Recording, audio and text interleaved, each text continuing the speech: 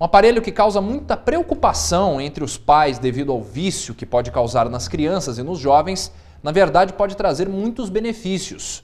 O videogame, cada vez mais popular no mundo, pode ajudar a desenvolver habilidades e a inteligência. Veja na reportagem de Gabriel Pereira, da TV Educativa de Alfenas.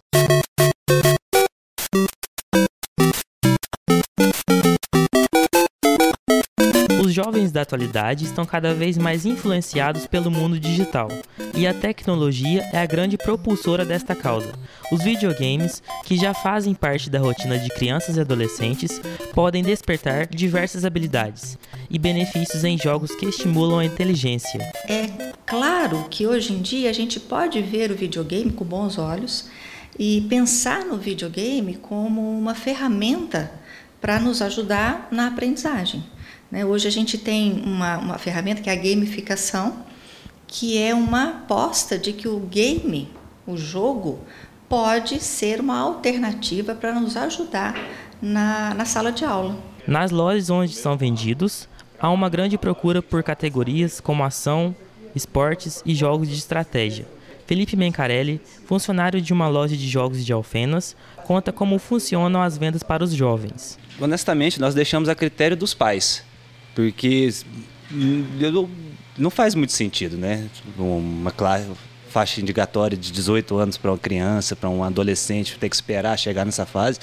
E a gente não interfere no, no, no julgamento dos pais, o que, que eles julgam, digno para o seu filho.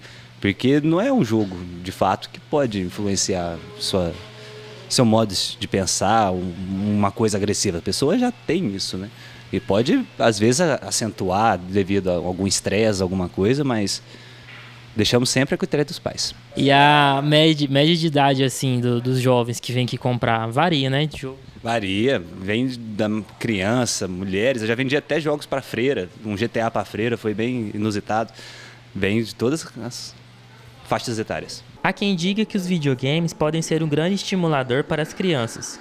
Badelur Pereira garante que eles podem proporcionar muitos benefícios, mas coloca limitações quanto ao tempo de uso para sua filha. A restrição que deve ser tomada é em relação ao tempo. Para ela, o tempo que ela tem que dedicar tem que ser o tempo que ela tem o vago, né, o tempo ocioso. Então, quer dizer, ela não pode pegar as responsabilidades dela e colocar em último lugar. Então, é, todo o tempo que ela tiver para se divertir, nesse intervalo de tempo, ela pode estar tá preenchendo com o que ela quiser. Pode brincar com os brinquedos dela, brincar com o videogame. Então, quanto a isso, é, seria em relação às responsabilidades, sempre em primeiro lugar.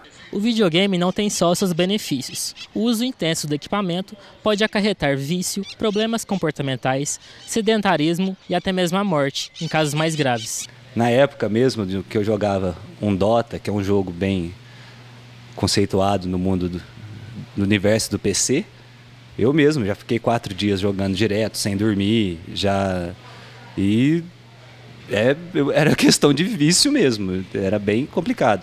Tudo em exagero e excesso causa problemas no nosso organismo.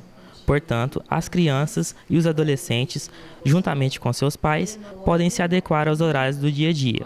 O videogame pode ser considerado um grande estimulador, se usado corretamente e com moderação, e as escolas podem ter um papel fundamental nesse desenvolvimento. Os nossos filhos é, são de uma outra geração. São de uma geração que a enciclopédia, a biblioteca, está na palma da mão, no celular dele. Na minha época, eu, eu tinha que ir para a biblioteca da minha escola, abrir um monte de livros, ou abrir a, a Barça ou a Mirador da minha casa e pesquisar. É, e, e ainda considerando que não era uma pesquisa, às vezes, muito fiel, né? porque às vezes os anos tinham se passado e aquilo não estava muito atualizado. Hoje em dia, não. Num clique, eu tenho toda uma pesquisa, uma busca super completa dessa informação. Então fica a dica: use videogame com moderação.